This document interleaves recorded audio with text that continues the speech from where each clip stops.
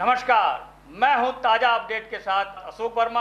आप देख रहे हैं टीवी ट्वेंटी न्यूज़। आप अपने अपने क्षेत्रों की ताज़ा खबरें देखते रहिए, बने रहिए हमारे साथ। शुरुआत करते हैं खबरों का सिलसिला।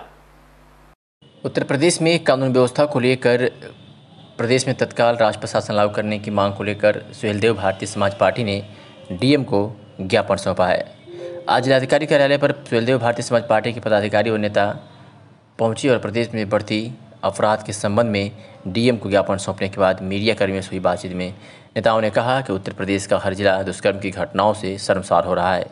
अपराध लगातार बढ़ते जा रहे हैं, सरकारी मशीनरी पूरी तरह फेल है। प्रदेश में लगातार दलितों, पिछड़ों, अल्पसंख्यकों और महिलाओं, गरीबों और वंचितों पर जुल्म हो रहे हैं तथा भाजपा सरकार से उत्तर प्रदेश में कानून व्यवस्था संभल नहीं रही है।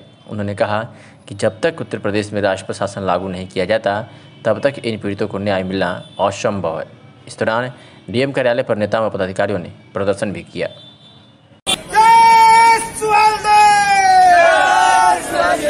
हमारी मांगे पूरी हो तो लड़ाई है।